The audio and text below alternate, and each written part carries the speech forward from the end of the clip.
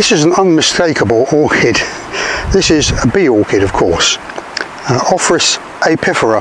Ophrys means eyebrow in Greek. It's difficult to see where the eyebrows are on here, but presumably the Greeks thought there were. And apis, of course, is the Latin for bee. Um, and uh, they are particularly beautiful flowers if you look at them under a lens. And of course what's happening here is that the lower lip of the orchid, the labellum, has mutated over millions of years and it now looks like a bee. And indeed the flower emits uh, chemicals which mimic the scent of a female bee. And so males will come along they'll believing that this is a female bee they'll try to mate with it. And on this plant uh, no bee has visited this yet because I can see to the top there are two little yellow lumps of pollen. And once the bee tries to mate with this flower the yellow pollen gets stuck on its shoulders. It then flies away and pollinates another flower.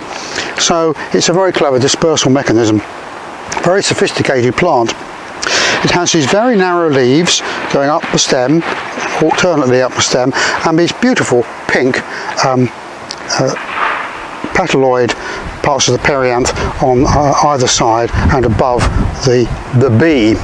Uh, and it's a very interesting plant in the northeast because it seems to be moving northwards. Maybe it's climate change. It was first discovered in my Vice County in North Northumberland in the early 2000s and it's now got to Edinburgh and probably north of there too. So it's an interesting plant to watch out for there are other varieties of Ophrys that mimic flies and various other things and our continental brethren um, think there are hundreds of these. There are a lot, lot of different ones in the Mediterranean with all sorts of metallic colours. But this is our native bee orchid, uh, Ophrys apifera and one which uh, you would enjoy finding if you can manage it.